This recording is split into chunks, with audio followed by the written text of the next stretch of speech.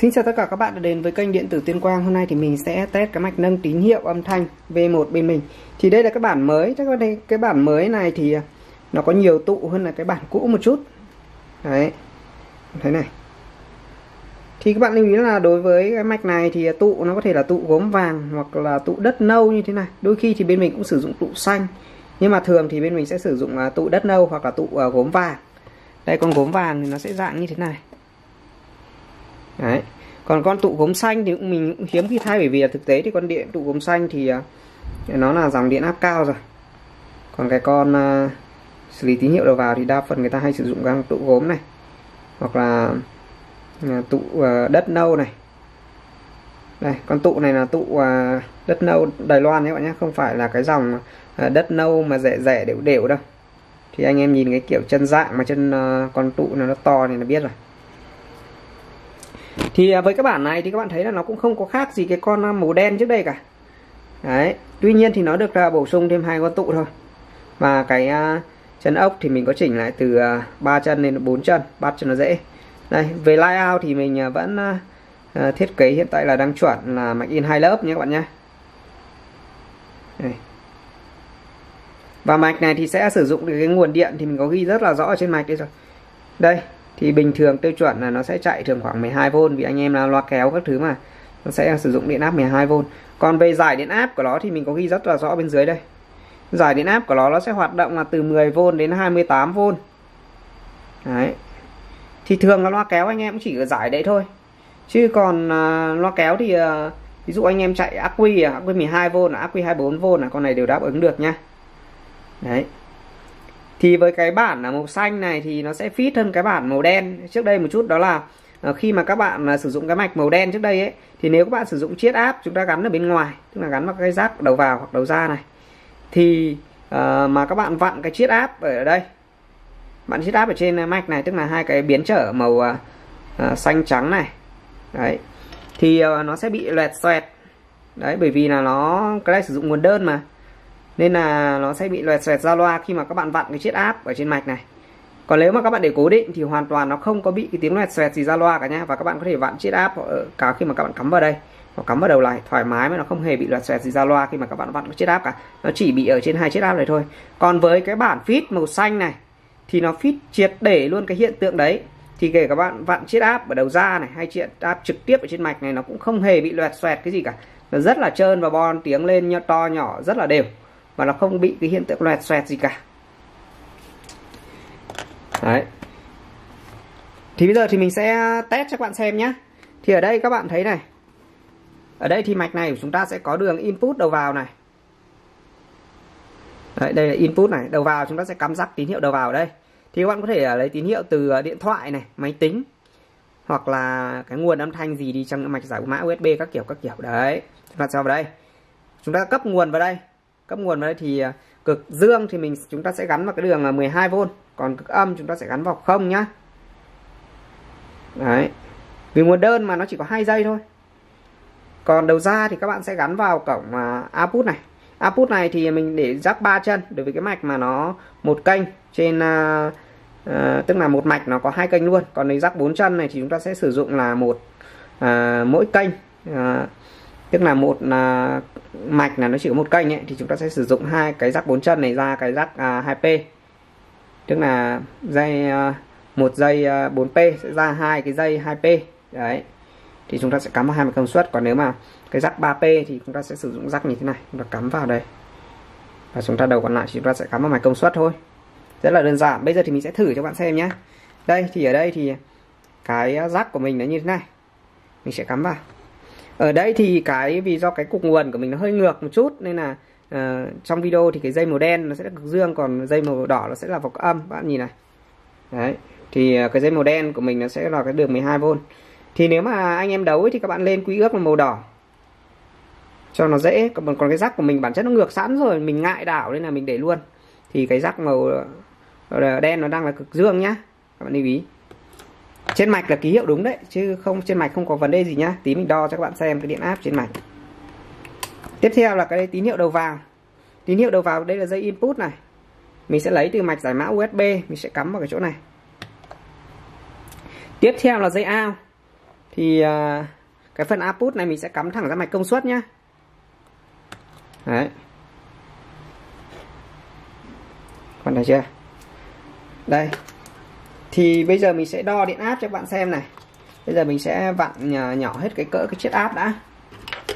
Đây mình sẽ vặn cái chiếc áp này xuống này. Chiết áp này thì à, à, bởi vì nó là cái chiếc áp để chỉnh cái à, độ hệ số khuếch đại thôi.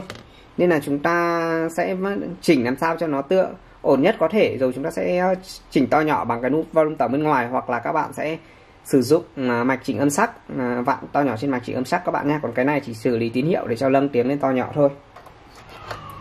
Rồi các bạn nhìn này. Thì ở đây nhá thì cái chân màu đen của mình nó sẽ là cực dương nhá. Đấy, và đúng như ký hiệu ở trên mạch. Đây mình sẽ đo cho bạn xem này. Que đỏ là cực dương này và que đen là cực âm này. Đây này bạn thấy đây đồng hồ mình lên đây 12V nhá. Đấy rồi, ok. Đây. Bộ test thì vẫn bộ test huyền thoại của mình thôi. Bây giờ thì mình sẽ vặn cái chiếc áp mà lên để cho tiếng nó ra này.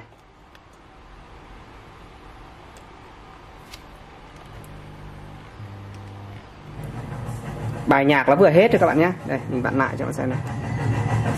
Vừa xong là do bài nhạc là hết thôi. Đây. Zoom ra này.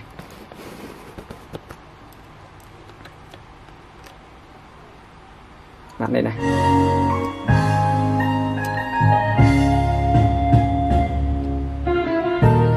Kênh trái này thử kênh phải này.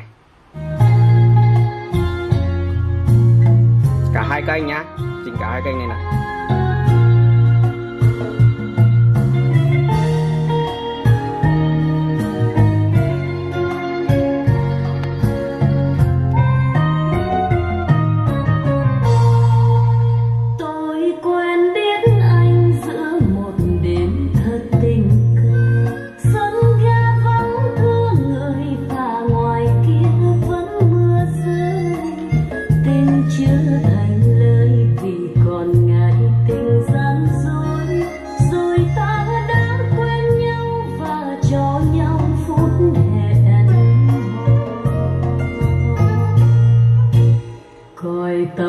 蓝蓝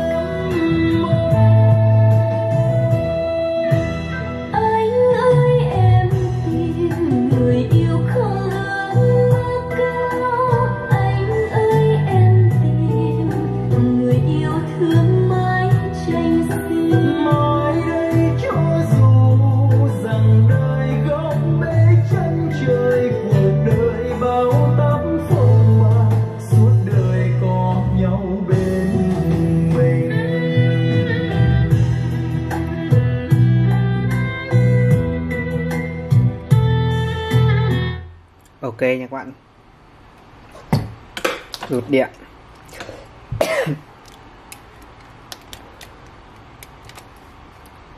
Đấy, sản phẩm của chúng ta. À, các bạn lưu hộ mình là hiện tại thì bên mình có hai phiên bản. Đây là cái bản à, màu xanh nhá. Thì cái bản này nó là mạch nâng tín hiệu nguồn đơn này. Thì dành cho à, các mạch mà chạy ác quy rồi là dạng mạch à, loa kéo hay là các loại à, loa di động gì đó mà nó chạy nguồn đơn ấy và các bạn khi mà các bạn uh, mang về thử các bạn nhớ phải vặn cái chiếc áp lên nhé nhiều anh em thì về trả ta vặn chiếc áp lên thì cả cả kêu mạch không nó ra tiếng nên mình đến thua. Khi mà nhận hàng về thì thấy là hóa ra là chưa vặn chiếc áp lên và sao không ra tiếng. Đấy. Thì uh, cái mạch này thì mình thấy một số nơi họ cũng sản xuất là uh, bán gần đây thôi còn cái mạch này thì bên mình sản xuất ra từ rất lâu rồi. Và bên mình càng ngày càng bổ sung nhiều linh kiện vào thực tế thì không phải là nhìn cho nó màu mè, mà những linh kiện này thực tế là để bảo vệ nha các bạn nhé thì một số chỗ họ cũng ăn bớt đi khá là nhiều, mình thấy khá là nhiều linh kiện mà toàn linh kiện bảo vệ với linh kiện chống nhiễu. Và sao về nó bị ờ, sôi ù là phải thôi. Đấy, thì ờ, các linh kiện ví dụ như trụ gốm các thứ bên mình không thể bao giờ có thể bỏ được.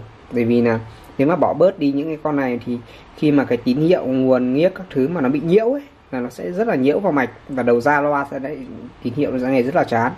Thì ờ, những con tụ này nó sẽ giúp là giảm tối đa cái hiện tượng nhiễu trong cái uh, việc mà khuếch đại của mạch và cái tín hiệu đầu vào nếu mà vô tình bị nhiễu thì cũng sẽ giảm bớt được cái hiện tượng nhiễu đó đi.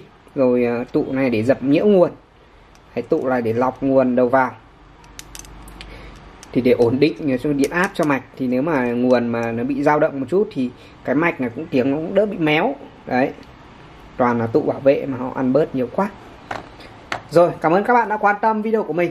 Nếu mà anh em nào có nhu cầu mua mạch nâng tín hiệu này, có thể truy cập vào website điện tử tuyên quang.net hoặc đặt hàng trực tiếp tại à, cái link mình để bên dưới à, mô tả video nhé hoặc là liên hệ trực tiếp cái số điện thoại trên màn hình của mình. Giá thì mình có ghi trên màn hình luôn rồi đấy. Thì mạch à, nâng tín hiệu nguồn đơn này và nâng tín hiệu nguồn đối xứng mình để giá bằng nhau nhé cảm ơn các bạn đã quan tâm video của mình. Xin chào và gặp lại các bạn trong các video tiếp theo.